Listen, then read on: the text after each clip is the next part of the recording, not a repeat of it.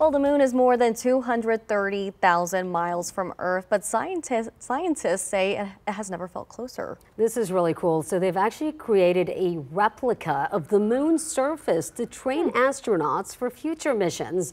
Tina Kraus shows us. The moon is a star attraction around the world. Millions admire it from a distance. It's one small step for man. But only a dozen people have ever stepped foot on it. One giant leap for mankind. So scientists in Europe decided to bring the moon to Earth with what experts say is the world's most accurate copy of the lunar landscape. It's the surface, it's the, the lunar dust, the rocks, the lighting. We will have a gravity offload system. We will work in spacesuits that limit our movement, limit our view. This training facility in Germany, built from simulated lunar dust and 900 tons of volcanic rocks, mimics the moon and is about the size of three tennis courts.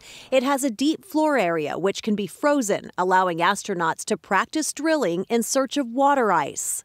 We have everything that we need to test and prepare ourselves for the moon.